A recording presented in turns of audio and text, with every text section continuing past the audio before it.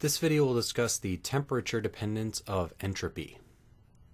So we'll start off by looking at the internal energy change that occurs during some small perturbation to our state. So du, some infinitesimal change in the internal energy, equals dq rev plus w, dw rev equals a small change in the, or a small amount of heat in a reversible process plus a small amount of work in a reversible process. We have from our previous definitions now that in a reversible process, dq rev equals T times the change in entropy, because ds is defined as dq rev over T for a reversible process. So dq rev equals T ds. And also from our videos on work, we know that dw rev is equal to minus pdv, minus the pressure times the change in the volume of the system. That's the mechanical pressure volume work that the system is doing. So the change to our internal energy during some uh, small perturbation to our state, du, is equal to tds minus pdv. So this type of structure here seems to imply that our internal energy is a function of entropy and volume. And indeed, in future videos, we'll look at what are called natural variables. And entropy and volume are the natural variables of internal energy because it's natural to express the internal energy as a function of S and V since it naturally behaves this way with these uh, exact differentials of S and V. But instead, let's say, what if we express or try to express the change in the internal energy as a function of temperature and volume? So then we'd have du equals the partial derivative of u with respect to t at constant volume times dt, the change in temperature, plus du dv, partial derivative with respect to volume at constant temperature times dv, the change in volume, the standard total differential formula for a multivariable uh, function from calculus 3. So we could rearrange this type of equation here where we have ds there and du, solve this for uh, ds and then substitute in uh, these kinds of expressions. We have ds equals 1 over t times du plus p over t times dv, showing here that we can express entropy as a function of internal energy and volume. So substituting in this expression for du down here, we have ds equals 1 over t times the quantity du dt times dt plus du dv times dv plus the leftover part p over t times dv. Okay, so we have an extra volume term now, but still just one temperature term.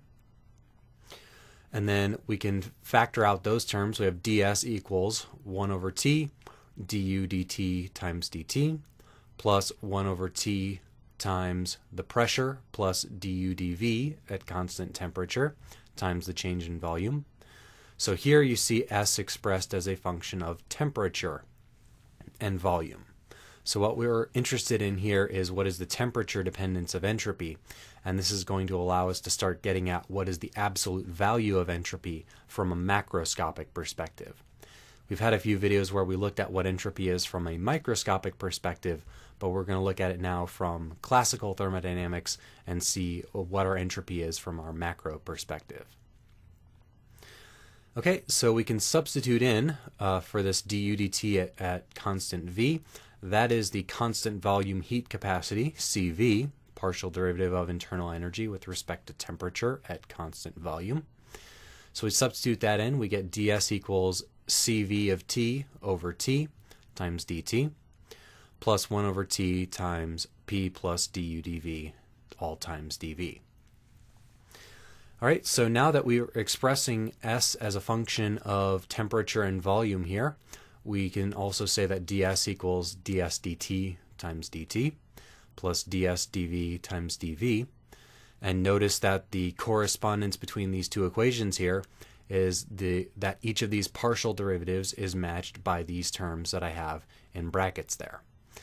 So the partial derivative of entropy of a system at with respect to temperature at constant volume is equal to the constant volume heat capacity divided by the temperature. So that's a nice straightforward arrangement for how S changes with respect to temperature. And similarly, the entropy change with respect to volume, partial derivative of S with respect to V at constant temperature, is equal to 1 over T times the pressure plus the partial derivative of the internal energy with respect to volume. So note when we computed the entropy change during expansion and compression of an ideal gas, uh, this would need to be isothermal because we're keeping the T constant.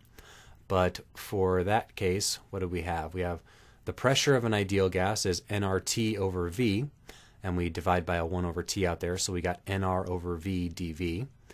And then the internal energy of an ideal gas doesn't change with respect to volume. A non ideal gas or some real gas would have an internal energy change as we change the volume, but ideal gases do not. So this matches up with our equation from before in our video where we computed the uh, entropy change during the expansion or compression of an ideal gas where it was isothermal.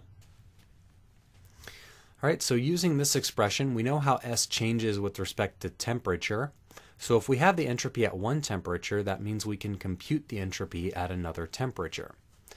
So delta S between two different temperatures, S being a state function that's equal to the entropy uh, at T2 minus the entropy at T1, final minus initial, which is also equal to the integral from T1 to T2 of ds, the change in entropy, which is equal to the integral from t1 to t2 of the partial derivative of s with respect to t integrated with respect to temperature.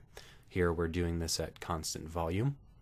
And this quantity here, as we saw, is the constant volume heat capacity divided by temperature.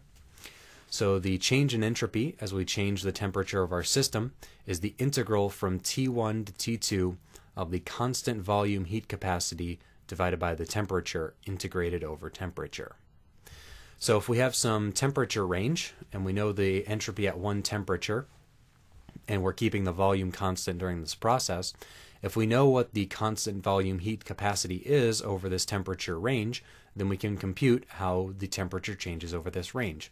We just substitute in the value of CV, divide by T, integrate with respect to T from T1 to T2, and there is our entropy change during that change of temperature during a constant volume process.